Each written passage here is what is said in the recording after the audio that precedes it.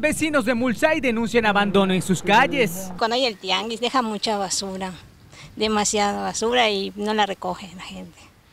Cada vez que pasamos y vemos mucha basura, terrible.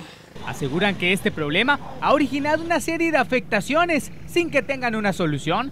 Está todo sucio realmente, eh, la comida, eh, las bolsas de basura y todo eso.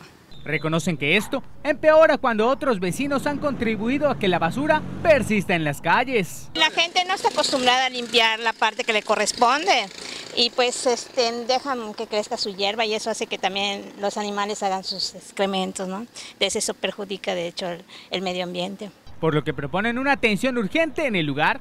Pues yo solicitaría de que el miércoles o el martes cuando ya termine, pues lo limpien. O sea, una limpieza semanal y así.